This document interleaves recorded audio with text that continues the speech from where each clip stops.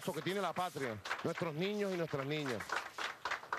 Ahora, los consejos comunales y las comunas son el poder del pueblo, gobierno del pueblo. Yo quiero que lleguemos, camaradas, compatriotas, compañeros, compañeras, a un momento en que el gobierno de verdad lo tenga el pueblo allí, aquí en la comunidad.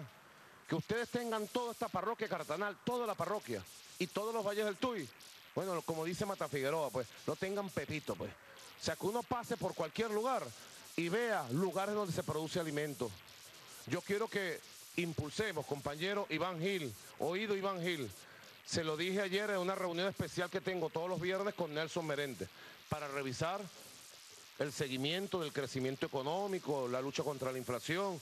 Estamos, mire, permanentemente todos los viernes. Y allí le dije a Nelson Merente, como vicepresidente de Economía, le dije, yo quiero que retomemos con fuerza. Y encargo de eso a Iván Gil, encargo de eso al compañero Félix Osorio y encargo de eso al compañero Reinaldo Iturriza. Yo quiero que retone- retomemos con fuerza la producción de alimentos por la vía de los organopónicos, organopónicos urbanos. Por ejemplo, ustedes en este barrio, yo al entrar vi un, un terreno abandonado que está por aquí cerca, entrando, lleno de basura de paso. Qué cosa, ¿verdad? Bueno, ese terreno, ustedes organizados, nosotros apoyándolo, lo limpiamos y montamos allí un lugar organopónico, ¿no? Para que ustedes allí produzcan sus tomates, por ejemplo, sus pimentones, la cebolla. A mí no me gusta la cebolla, pero a la gente le gusta la cebolla. ¿A te gusta la cebolla? La cebolla es muy buena para la salud. Para Yo la la- vista, mi presidente. para la vista, sí, yo la como disimulada, pues. Por eso que está así. No. Vista de águila con cebolla segura. Mira.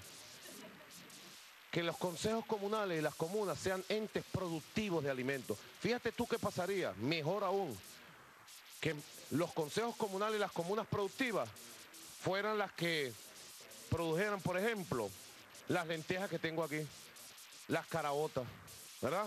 Claro que pueden tuvieran sus vaquitas, ¿verdad? Y ordeñaran sus leches a sus vaquitas, sacaran su leche y tuvieran allí su frío para conservarlo.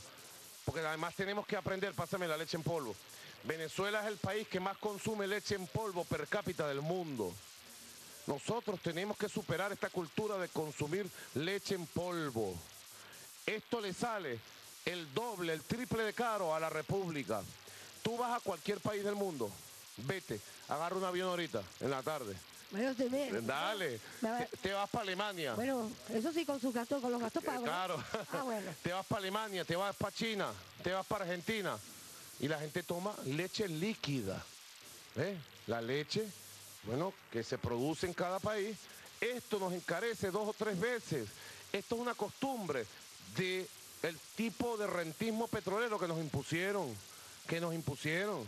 Poco a poco las comunas deben producir la leche que consumen.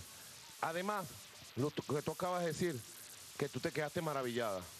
Tú te quedaste maravillada cuando llegó el camión de Proval. No, de Funda Proval. De De mercado.